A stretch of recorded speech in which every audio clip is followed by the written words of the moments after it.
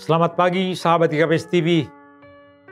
Kita bersyukur Tuhan anugerahkan hari yang baru bagi kita hari ini. Sebelum kita mendengar firman Tuhan, marilah kita berdoa.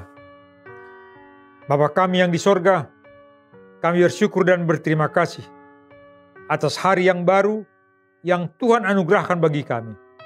Saat kami hendak memulai kegiatan hari ini, kami hendak mendengarkan firman-Mu. Berfirmanlah kepada kami Tuhan, ajarlah kami semua dalam Kristus Yesus kami berdoa. Amin. Sahabat GPS TV yang terkasih, renungan kita pagi hari ini diambil dari surat 2 Korintus 8 ayat yang ketujuh. Demikian firman Tuhan. Maka sekarang sama seperti kamu kaya dalam segala sesuatu, dalam iman, dalam perkataan, dalam pengetahuan, dalam kesungguhan untuk membantu, dan dalam kasihmu terhadap kami. Demikianlah juga hendaknya kamu kaya dalam pelayanan kasih ini. Sahabat KPS TV yang terkasih, pelayanan kasih adalah salah satu wujud kehadiran gereja di dunia ini. Jemaat Makedonia saat itu tidak jauh berbeda dengan jemaat pada masa sekarang ini. Sebagai orang percaya kepada Yesus, mereka meneladani hidup Yesus. Pertama-tama, mereka memberikan dirinya kepada Yesus, dan oleh iman, mereka beri diri lewat pelayanan kasih. Sebagaimana kita tahu, gereja adalah persekutuan orang percaya yang diutus ke tengah dunia, mereka mengalami berbagai penderitaan. Tapi walaupun demikian, mereka bisa bersuka cita. Kenapa?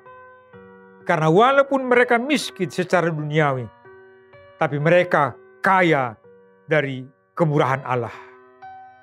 Mereka memberi menurut kemampuannya, bahkan kadang melebihi kemampuannya hingga membantu orang-orang percaya di tempat lain, bahkan di luar jemaat Makedonia pada saat itu.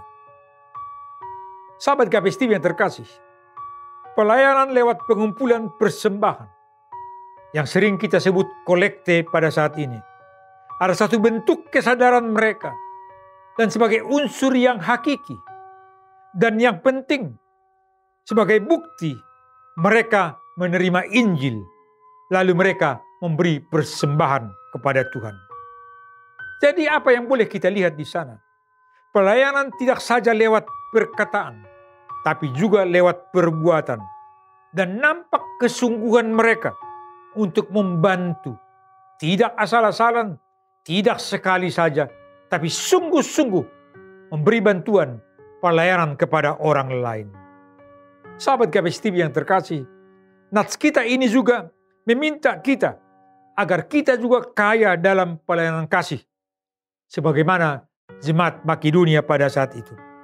Mungkin saudara ada pergumulan. Mungkin saudara ada penderitaan. Bahkan ada kurang dalam berbagai hal. Sebagaimana juga orang-orang Makedonia pada saat itu. Tapi saudaraku, sebagai orang percaya, mereka tidak surut. Kalau boleh saya katakan, mereka sungguh-sungguh untuk pelayanan kasih. Kenapa mereka bisa sungguh-sungguh dalam pelayanan kasih? Bagaimana Paulus katakan juga dalam 1 Korintus 15 ayat 58 yang berbunyi demikian.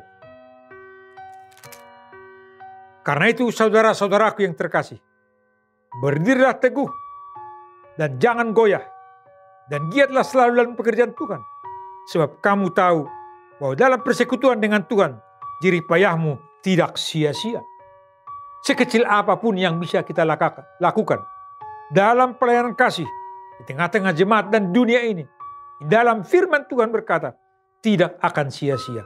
Saudaraku, marilah kita bergiat melakukan pelayanan kasih karena Tuhan lebih dahulu mengasihi kita semua. Bersukacitalah, bersemangatlah melakukan kehendak Tuhan di mana pun kita berada. Amin. kita berdoa. Bapa Surgawi, kami bersyukur dan berterima kasih atas firman-Mu yang menyapa kami pada pagi hari ini. Agar kami juga melakukan pelayanan kasih sebagaimana jemaat Makedonia pada saat itu. Ajari kami Tuhan, bimbing dan tuntun kami, agar apa pun yang boleh kami lakukan menjadi kemuliaan bagi Tuhan dan pelayanan bagi sesama kami. Kami serahkan kehidupan kami hari ini ke dalam tangan Tuhan. Dalam Kristus Yesus kami berdoa. Amin.